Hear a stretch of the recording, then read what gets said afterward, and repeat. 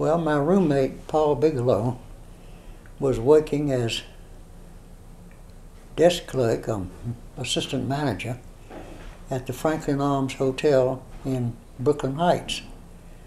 And while he was there, Mrs. Wolfe, that's Thomas Wolfe's mother, came to stay at the hotel.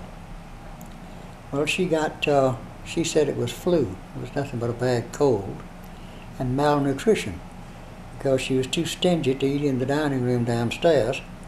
And she would go out and buy little messes and put them on the windowsill because it was winter and stayed fresh. And finally, uh, they sent for her daughter, Mabel Wheaton, who is, of course, Helen in Look Homeward Angel.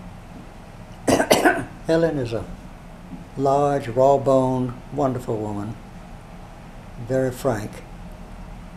And uh, she came up from Washington, where she runs a boarding house similar to the one Mama ran in Asheville. And uh, while she was there, as soon as she reassured herself that Mrs. Wolfe was not really ill, she went down to the nearest drugstore. And in typical fashion, she sat on a stool and said to the soda jug, I'm Tom Wolfe's sister. And after he had gotten pretty bored with her, because all members of that family have total recall, he said, You see that woman over there? She's a famous writer too. Her name's Carson McCullers. Oh, I've heard of her. So she went over and she said, Carson McCullers? And Carson said, Yes. She said, I'm Tom Wolfe's sister. And Carson, not to be outdone, said, Well, Tom Wolfe's sister, have a seat. So she sat down. And after they discussed uh, various and sundry things, she said, You know, my mother never read a book until the publication of Look Homeward Angel. But since then, she's read all of contemporary fiction to be sure for herself that her son is the best. And I know she would love to meet you. Would you come up to the hotel and see her? So when they arrived at the hotel, Mabel introduced Carson to Paul Bigelow. And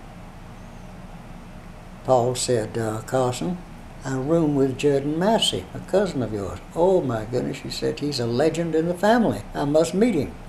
Well, of course, it was my father she was thinking of, not me. Carson was always vague about things like that. So eventually I went over to meet Carson, and that's how it all started. But on one occasion, uh, I went to see Mrs. Wolfe, and I rang the door, the elevator, and the door opened, and out stepped Mabel with Aline Bernstein.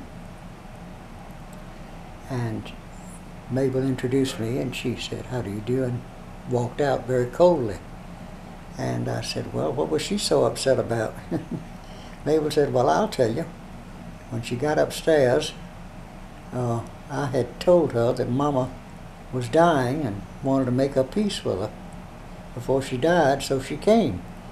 And when she walked in, discovered that Mama was not dying, and Mama ordered her out of the hotel. And don't ever come in my room again. I've told you that previously, and I mean it.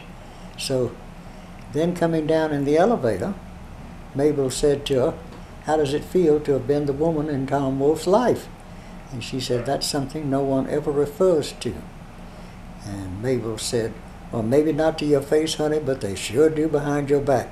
Well, at that moment, the doors of the elevator opened and she stepped out and met me. So it was not a propitious moment. But that's, that's how I met Carson. Mm-hmm.